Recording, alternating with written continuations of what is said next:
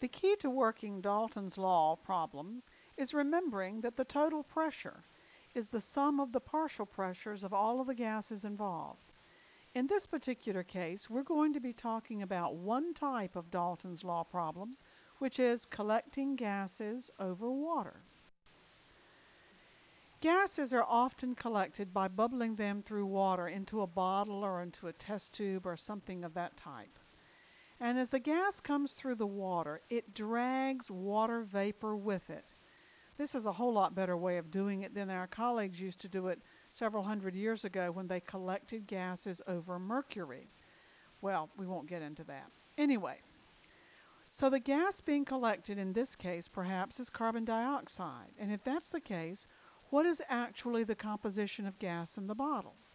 Well, the composition of the gas in the bottle is carbon dioxide, which is saturated with water vapor.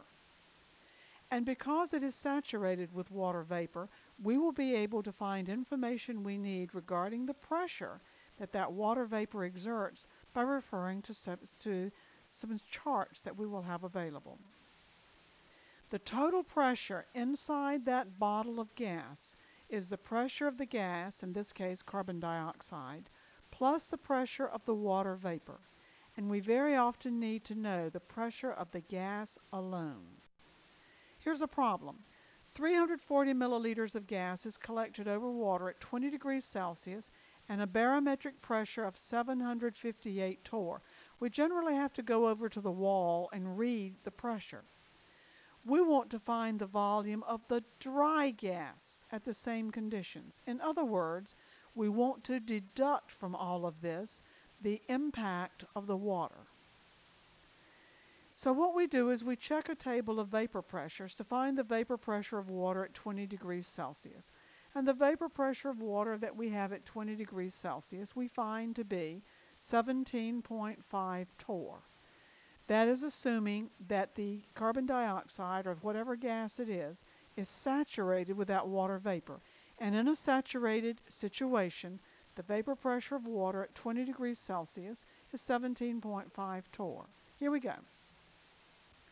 We start with our 340 milliliters of gas. And we ask ourselves, okay, I've got this at a barometric pressure of 758, but that includes the water. If I subtract the pressure of the water from that, that means that the pressure of the gas is less than 758, right? So here's the expression for the pressure of the gas. It's 758 minus 17.5 torr. And we put that over 758 torr.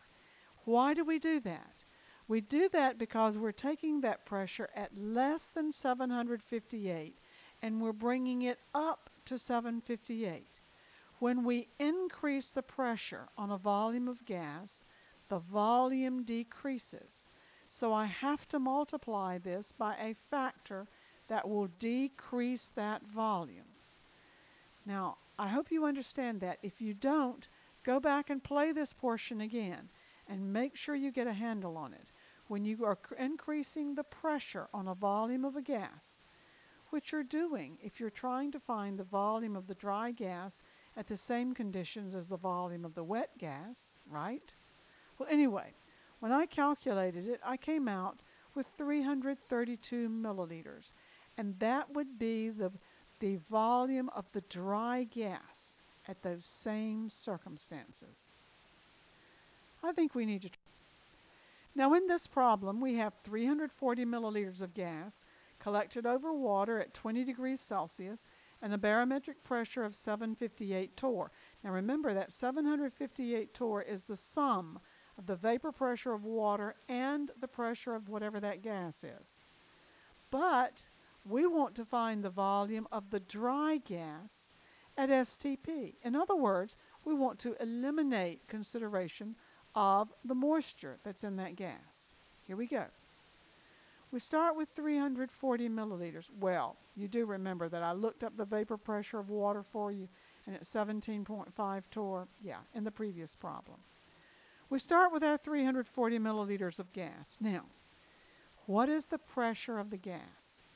Well, It's less than 758 torr, and we know this because we had to allow for the vapor pressure of water, and when we subtract that 17.5 torr from 758 torr, we're going to come out with something less than 758 torr, right?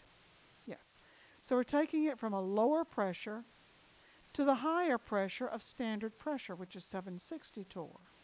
When we increase the pressure on a volume of gas, we decrease the volume of the gas. So we must multiply this volume by a ratio of pressures that will actually cause the volume to decrease. So it's 758 minus 17.5 torr over 760 torr. And that then, when multiplied by 340, will reduce the 340. Now let's consider temperature. We have this volume of gas collected at 20 degrees Celsius. That's 293 kelvins. And we're going to take it to STP. That's 273 kelvins. And you know that when you decrease the temperature of a gas, you decrease the volume. So once again, we have to multiply this by a ratio that is going to decrease the volume. So we multiply it by 273 over 293. And when we work this out, I came out with 309 milliliters of gas. So we significantly reduced the volume of that gas, but that 309 milliliters now is dry, and it's at STP. If you get confused with this, I suppose you could use a formula, but it really would be better off for you if you could learn to do it this way. That way you could plop it into a bigger problem at some point in time without having to stop and break everything down into a series of smaller problems. Oh well, whichever way suits you is fine. Brought to you courtesy of the Chemistry Professor, offering complete chemistry courses on DVD. Visit us at our website, chemistryprofessor.com.